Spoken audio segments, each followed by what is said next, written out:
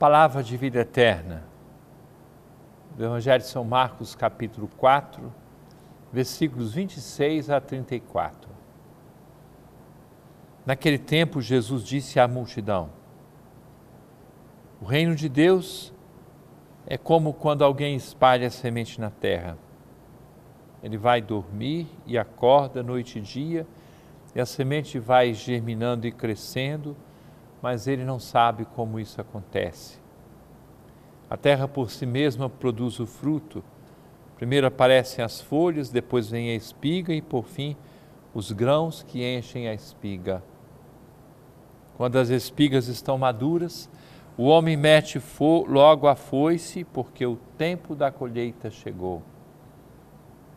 Jesus continuou: Com que mais poderemos comparar o reino de Deus? Que parábola usaremos para representá-lo? O reino de Deus é como um grão de mostarda que, ao ser semeado na terra, é a menor de todas as sementes da terra.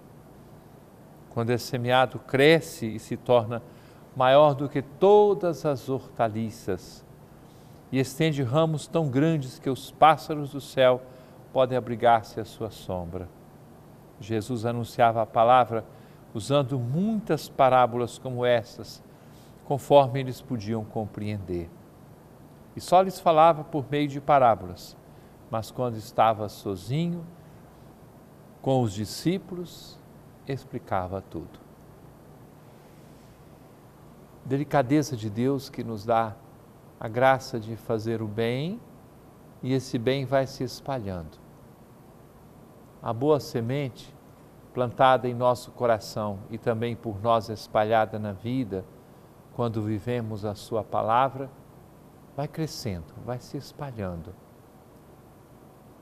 Nós nem percebemos, porque o reino de Deus não faz barulho, como uma semente que cai na terra e vai produzindo o seu fruto. É no silêncio, é na serenidade que essas coisas acontecem. Assim, os valores do reino de Deus. Nós às vezes nos escandalizamos com as coisas contrárias, com o mal que é feito e que faz tanto barulho. Mas é necessário acreditar que o bem vale a pena e que os frutos depois aparecerão. Palavra de vida eterna.